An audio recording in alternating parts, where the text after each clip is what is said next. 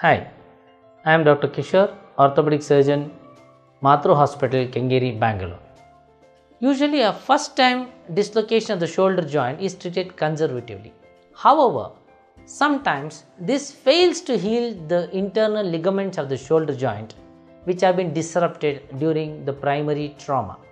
This leads to instability of the shoulder joint and such patients repeatedly dislocate their shoulder rendering their problems in performing their day-to-day activities as well as the sports.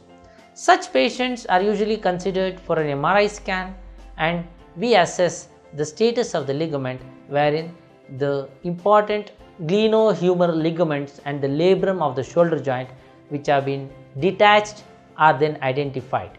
Such ligaments which have been detached can be successfully treated or fixed by using a shoulder arthroscopy procedure which is once again a keyhole procedure, a daycare procedure.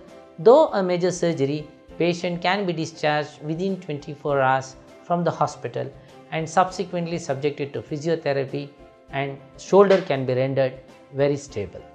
If you want to watch more videos from me, please do subscribe to Dr. Circle.